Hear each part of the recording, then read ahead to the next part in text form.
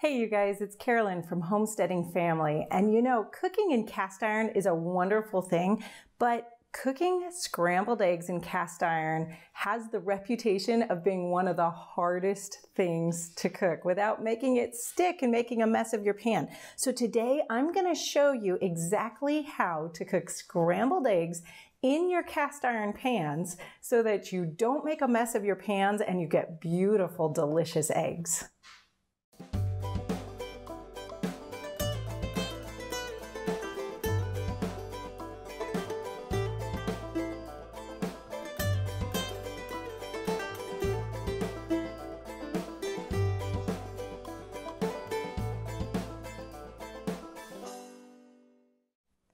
All right, now the first step to properly cooking eggs or anything in a good cast iron pan is to make sure that your seasoning is correct on your cast iron.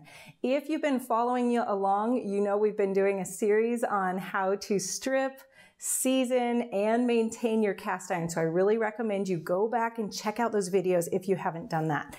This one here is the um, Lodge video, the Lodge cast iron that we did on the stripping and seasoning video. It is all ready to go. This is about a 10 inch pan.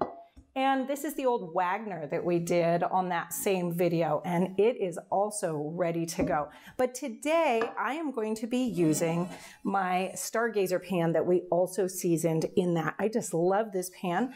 And one of the things that people get really wrong about cooking eggs in a cast iron is the amount of eggs that they try to cook for the size of the cast iron pan. You have to have the right ratio to have them turn out correctly. Otherwise, you'll end up with sticking eggs that are burning and making a mess of everything. So today we're gonna go with this larger 12 inch cast iron pan. Now, the first step to any cooking project with cast iron this is so incredibly important is you need to preheat this pan without any added oils. So my seasoning is good on this and I'm just gonna put this on the stove and I'm gonna get it heating on medium heat and we're gonna let it heat for at least 10 minutes.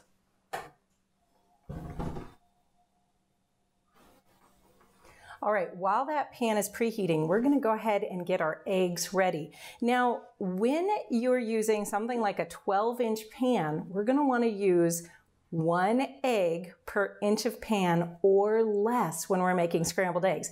That means we're gonna use about 12 eggs in this pan or less. If we were using our 10 inch pans, we wouldn't wanna use any more than 10 eggs in that pan maybe even less. And same on down or up if you have a larger pan. So we're gonna go ahead and do about 11 eggs for this pan. These are our fresh, fresh homegrown eggs. We're getting about 50 eggs a day right now. You can just see how beautifully yellow those yolks are.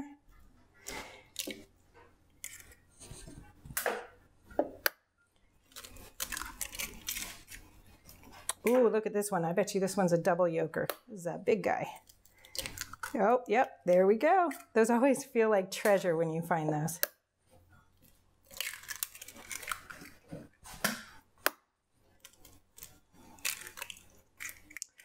Okay, now one of the things that a lot of people do is they put in a milk or a uh, cream, which can make your eggs really, really tasty. But if you like your eggs light and fluffy, the best way to go is with a little bit of water. So I'm just gonna put a few tablespoons of water in there. Okay, there we go.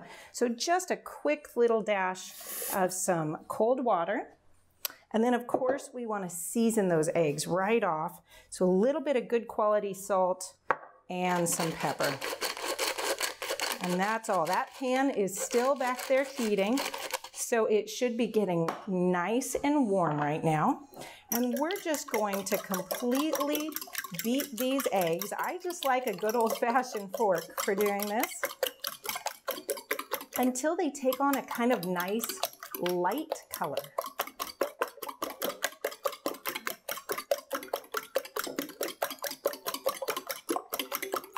means we're really incorporating in a lot of air and we're getting them very well mixed so that it's very uniform.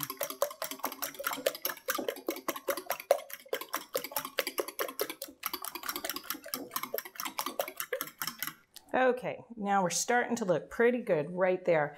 Now, what I have here is butter. This is the very last of our homemade butter for the year. The cow has been dry for a few months now, but she should have a new calf within the next few days, and then we'll be right back into the butter.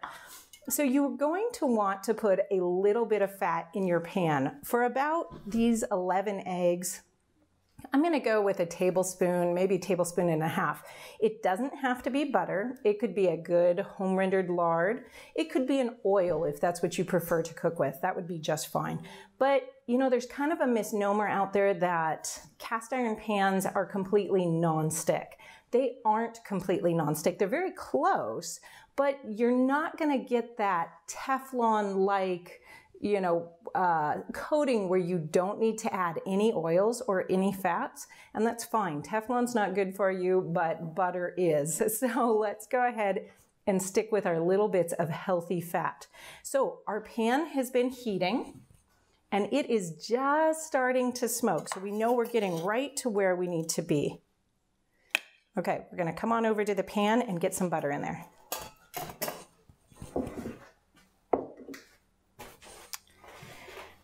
All right, now that this pan is hot, we are gonna go ahead and add this butter in. You can see it's smoking right off. That's just what we want. That brown butter is gonna give these eggs a little bit of flavor, and that's great. And as soon as this butter is all melted, we're gonna get our eggs right into that hot, hot pan.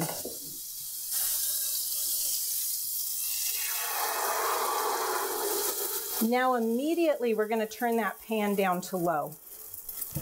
And we're gonna let those eggs cook for about 30 seconds so that they're very well set. This is gonna go really, really quickly. So be ready for it when it's time. Okay, I'm gonna say that these are real well set around the edges. So I'm gonna go for it here. I just have my spatula and we're just gonna give it a real nice stir. Now that brown that you're seeing on the bottom is from that browned butter, which is just delicious. And then we're gonna stir just constantly. This is only gonna take a few seconds. This is a really quick project.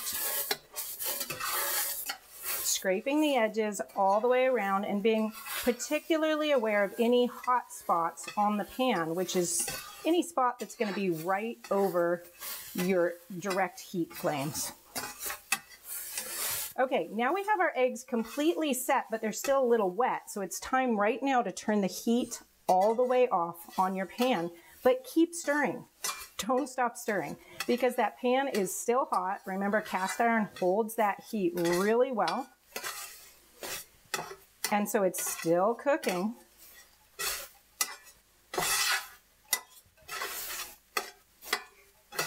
Okay, so the last important thing that we want to do is transfer these eggs right out of this cast iron and onto a serving dish. You don't want your eggs to sit and cool in your cast iron.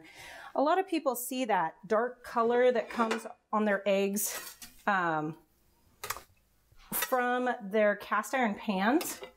And you know, that comes from two things. That comes from not having your seasoning hardened enough on your pan. You need to finish off your seasoning.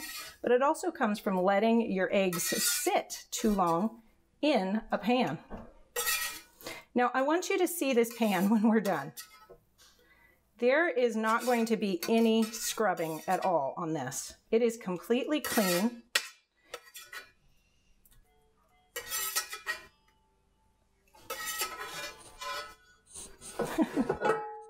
There we go. And just needs a quick wash. If you wanna know how to wash your pans to maintain them correctly, go over and check out that video on how to wash and maintain your cast iron pans. But look at these eggs that took almost no time at all. You have uh, a no scrub pan left. You have delicious eggs and you're ready to go. Thanks for joining me guys.